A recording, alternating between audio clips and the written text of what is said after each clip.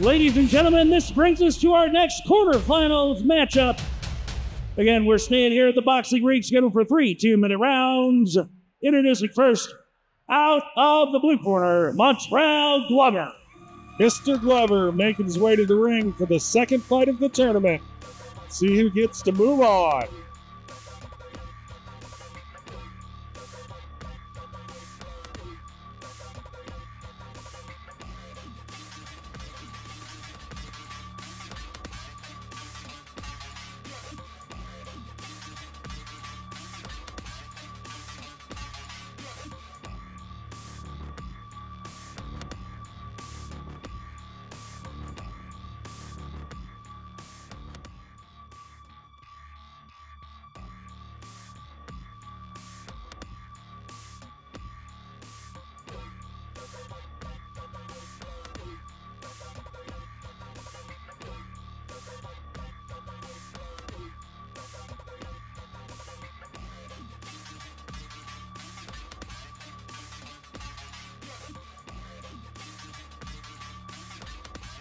And having some trouble getting the hoodie over the gloves there, Mr. Glover. Things you want to check out before you leave the dressing room. You'd be surprised how often that happens. Oh no. I've had to ruin some hoodies to get my hands through.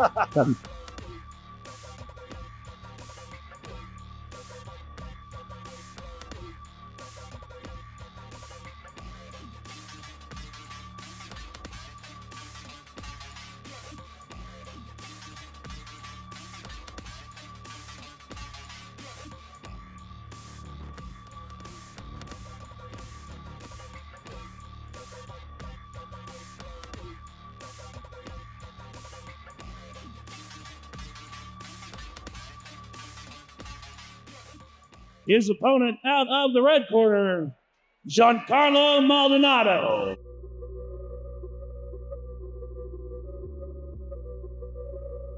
Mr. Glover, a representative of Syndicate MMA out of Las Vegas, Nevada. And Mr. Maldonado, he represents Muay Thai of Colorado, but comes to us from Tucson, Arizona.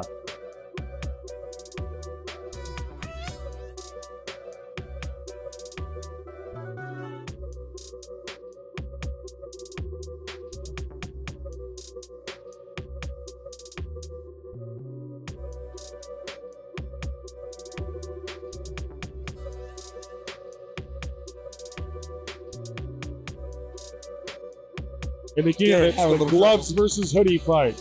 All right, Montrell Glover out of Las Vegas, Nevada. He's 22 years old, 5 feet 11 inches tall, 135 pounds. Comes to us as the number seven seed and an orthodox fighter.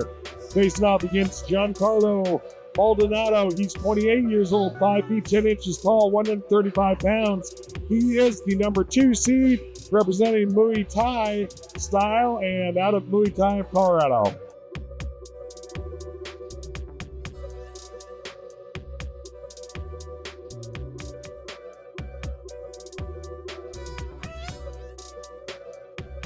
Mr. Glover's coach, Mr. Chris Trammell. He's a Sparta Hall of Famer himself, a standout Muay Thai fighter. Did some MMA, but Muay Thai was his specialty, his passion. See how his pupil fares in the tournament this evening.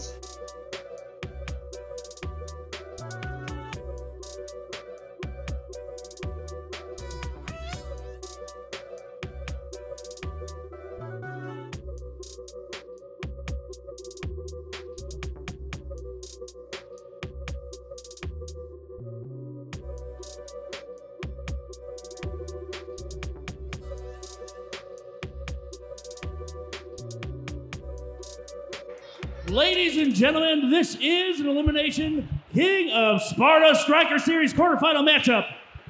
Your number seven seed versus your number two seed. Let's meet our fighters. Introducing first, out of the Mike Maroney Ford blue corner. He's an orthodox style fighter. Your seventh seed stands five foot eleven inches tall, weighing in at 135 pounds. With Syndicate MMA from Las Vegas, Nevada, Montrell the Hitman Glover.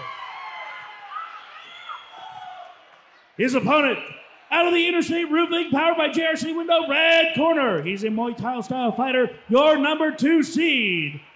Check in at 5 foot 10 inches tall, weighing in at 135 pounds, with Muay Thai of Colorado from Tucson, Arizona, Jeancarlo Maldonado!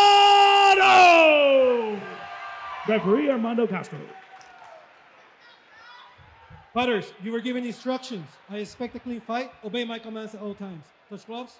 Back to your corners. Glover with the blue tape, Maldonado with the red tape. Here we go. Second fight for our King of Sparta Strikers tournament.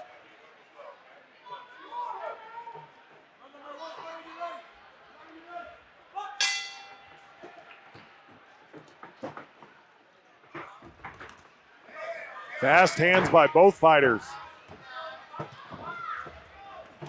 No waiting and feeling out process like we saw in the last fight. Not at all. Going right to it.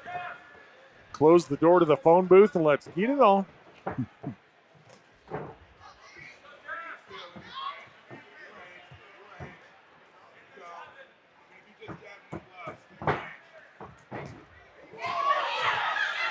Several uppercuts thrown by Glover. I think both of them had light contact.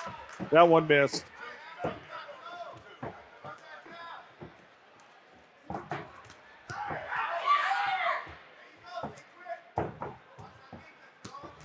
Maldonado's finding a good place for his, uh, his punches and his range. He's got to just be careful of being caught with this uh, rear uppercut. You can hear the footwork of Maldonado. He really sets down heavy on his lead foot. Wanting to get a lot of power transferred into his punches.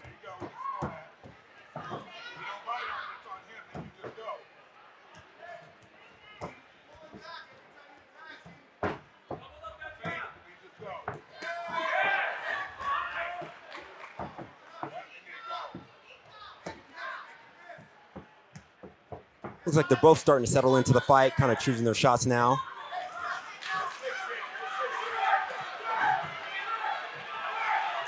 Glover trying to catch Maldonado on his way in, but Maldonado is doing a good job of putting his head where he needs it, keeping it safe, and then finding a combination after it. And both fighters are switching stances.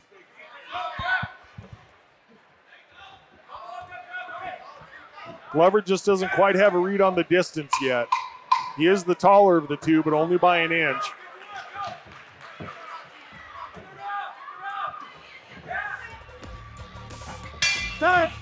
Pretty close first round there. I agree. I'd say uh, Glover's slightly busier, Maldonado slightly more accurate. I agree. However, Maldonado, I think, was throwing more punches. I don't, I don't have a punch count, but uh, I have a stronger belief that he, uh, he won by volume.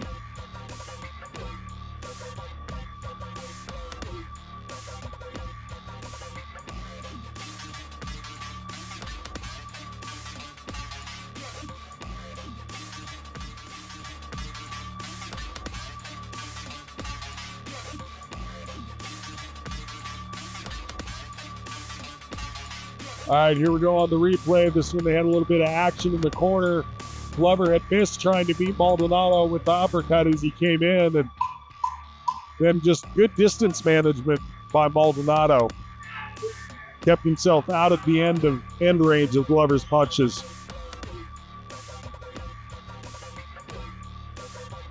Coach getting tangled up in the ring ropes.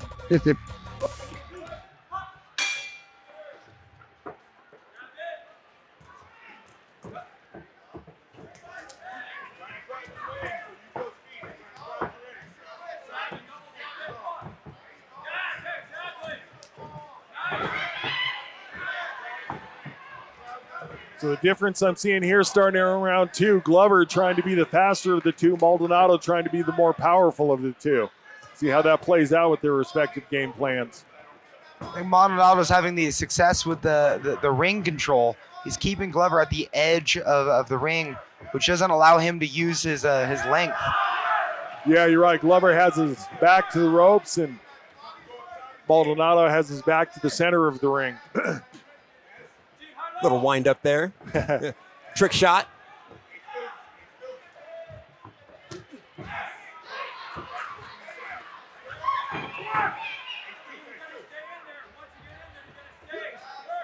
Again, both fighters look really composed. Yeah, Maldonado, keep in mind, he is the number two seed. Glover as the number seven.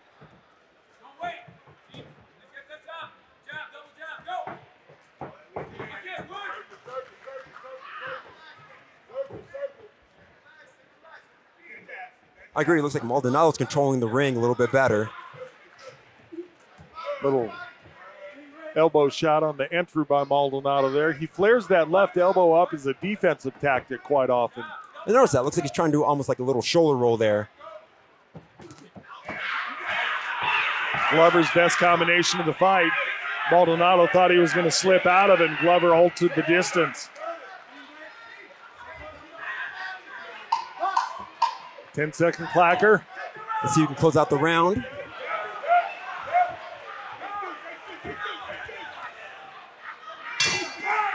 Good exchange there. Another really close round. Yeah, I think those two combinations by a Glover at the end might have got it for him. I, I agree. I think he found uh, found a lot more success with his counter punching in this round.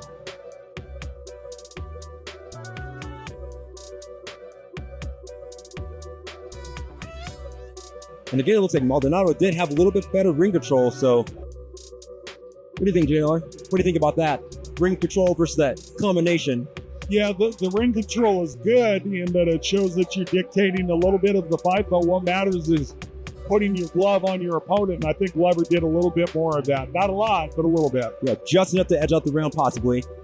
And we're seeing some of those good exchanges here in the replay. Maldonado had some uh, some good defense. However, he wasn't able to come out of his defense with a good offensive combination.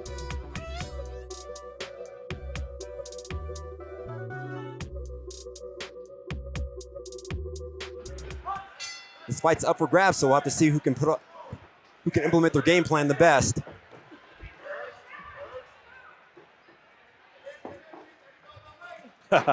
Maldonado saw that twitch from Glover on the counter. Nice exchange. Oh, and Glover really clipped him on the jaw.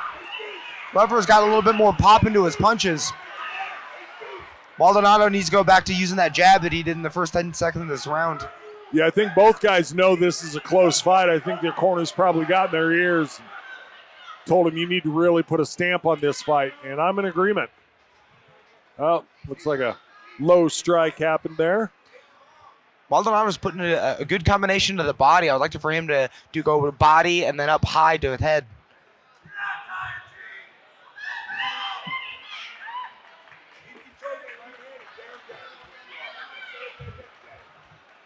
And keep those punches up, sir.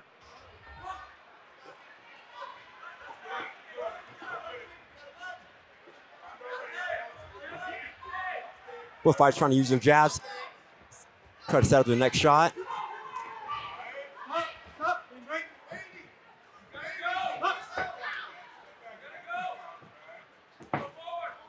We're about halfway through, so we'll have to see which fighter can be more explosive.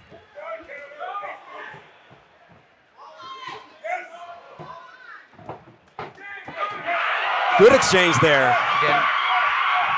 Glover finding big success. he just looks like he has a lot more pop at the end of his punches. Yeah, that speed is finally paying off for him.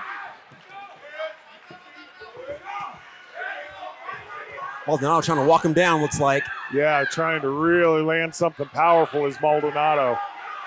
But you might be right, JR. Those those flurries, those are scoring big though. So it's ring control versus scoring. Little Little showmanship. Twice.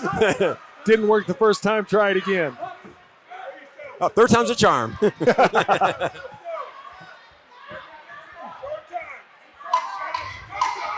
10 seconds out. We'll see who can close out this round, steal the fight. Both of them willing to stand and trade. Good finish by both fighters. Yes. Very job. good fight. Very clean.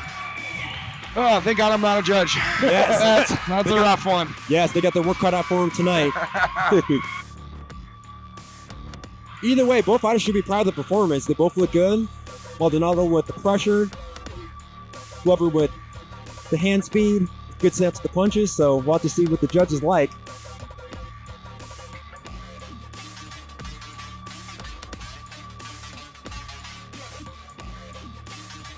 Here in the replay, you can see Glover just finding a home for his counter punching towards the end of this round. And I, I think this definitely uh, left a, a, a mark in the judge's decision. You're right. Might be just enough to eke out a decision. We'll have to see.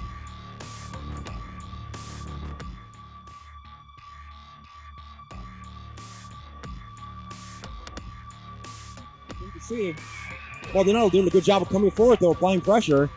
Yeah, toward the end there was a battle of speed versus power.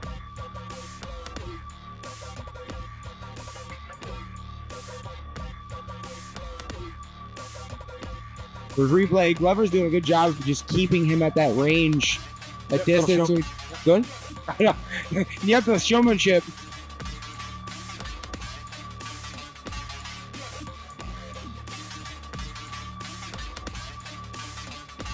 And we have the full two minute round in this replay. Which, if I this exciting, I don't mind rewatching. Very good exchanges there. Boy, that's going to be a tough one to call. Yeah, that exchange in the corner, that was, as we talked about earlier, Maldonado controlling the ring, able to get Glover into the corner where he could try to unload his combinations.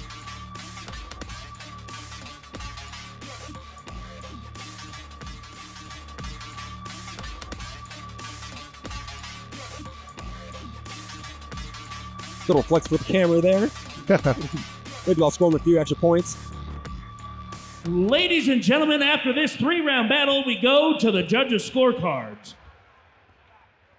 Judge Sanchez scores us about 29 28 Glover. Judge Van Tyne scores us about 29 28 Maldonado. Judge Mellish scores us about 29 28 in favor of your winner by split decision. And moving on to the semifinals, Montrell, the Hitman Glover! Congratulations to the Syndicate MMA fighter out of Las Vegas, Nevada, Mr. Hitman, Montrell Glover.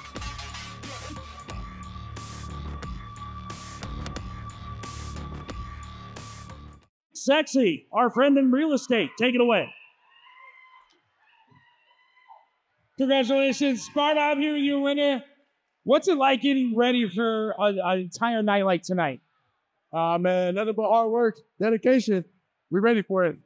That's fantastic. Congratulations on your win. Who do you want to thank right now? Thank my family over there, like the coaches over here at Syndicate, and everybody back home. Love y'all there. Fantastic. And we look forward to seeing you again. Remember, Sparta, when you need help with real estate, you've got a friend in me.